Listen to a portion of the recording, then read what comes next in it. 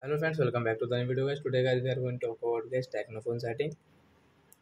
In this video friends i will show you guys how can you change your phone device name in your Tecno phone friends you want to change your device name in your Tecno phone so friends you can change. And guys now let's see how to change device name in our Tecno phone in this video. I will show you friends. So first of all guys we will on guys our phone setting to change our phone device name so friends you can see this type of setting. Then guys click on guys my phone setting. Then guys click on device name setting friends. Tap here. So we will cut this device name. Maybe we will change into guys Tecno mobile example for guys but guys you can check.